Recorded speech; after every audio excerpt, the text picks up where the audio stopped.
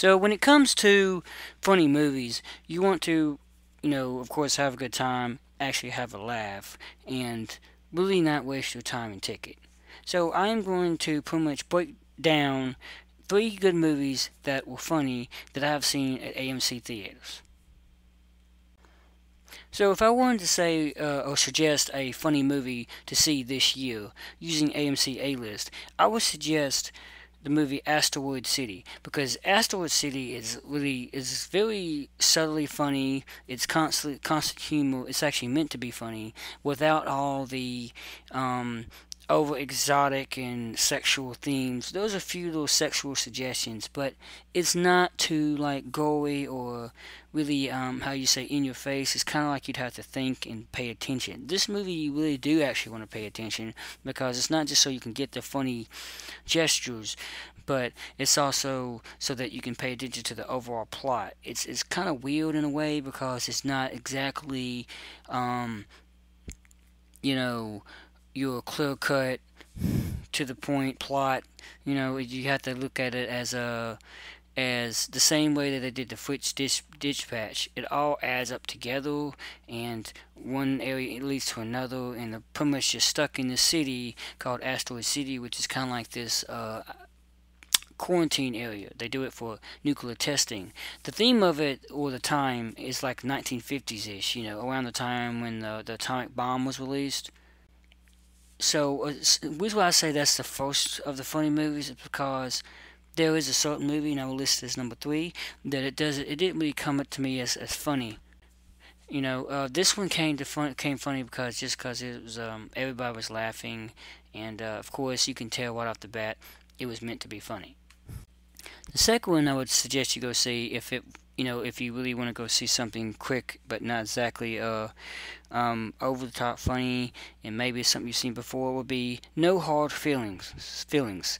So this starts with uh, Jen Jennifer Lawrence, you know, the the actor actress that played on the um, the uh, the Hunger Game uh, movies based on those books, as well as Mystique and X Men. Um, yeah, so she's actually quite comical. I didn't expect so. She has this whole thing where her character is like older than a lot of the people. She's um uh, really trying to date this younger man and, and like get him ready for college and get him out of a shell, so to speak. She's paid to do it. Um, and if you pay attention to the beginning of it, she's actually she loses her car. She's actually in debt. She's there's a threat of her losing her home, so she has to do something quick.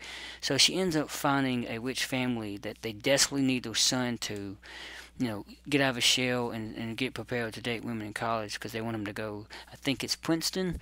And the reason why I picked this one as a second one is it's really quite actually funny at times. There's this whole thing where she's older than people because she's in her 30s and she's around people who are like 18 to early to mid 20s, and people are calling her grandma, and of course she doesn't like it. She feels like she has more experience than most people, but really, uh, it's it's it's just this play on words and this disrespect for people who are like simply a decade or not even a whole decade older than you, and people um uh, they were pretty much laughing in this movie. I mean, she goes from nearly lo losing her license, and they swim naked in the water, and she has to get her clothes back, and then there's certain things with the um.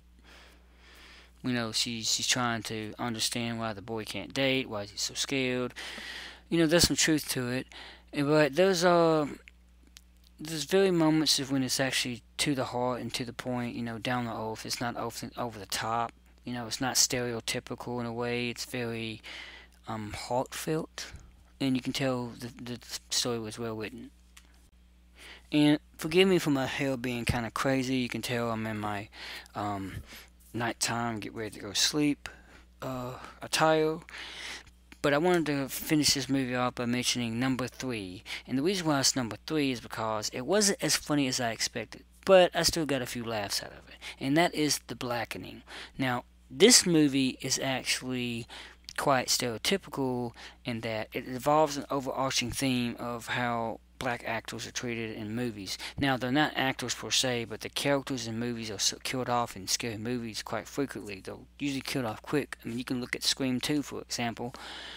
And, but this one just pl- it plays on that, but it also plays on the stereotypes of black people in general. They tend to people tend to think that um, these stereotypes are like redundant and they could just keep putting in movies. And maybe they're put, putting at the fact that it actually is put in movies quite a bit. And maybe they're trying to say in a way black people more than that and you should really stop making fun of them in movies like that you know and and if if that's what you're going for you know if that's what the directors were going for then that's that's pretty much what they're doing. I mean this i was kind of cringing at like some things i didn't know why or i didn't understand why they would be put in the movie. It's kind of like they're making fun of black people. For example they say the n-word way too often. Uh, there's also a few times when I could tell they were trying to be funny, but it didn't quite hit for me. But there was one key moment that really actually made me laugh and is actually involving one of the key characters. I won't spoil this movie because it does deserve to have its uh, audience.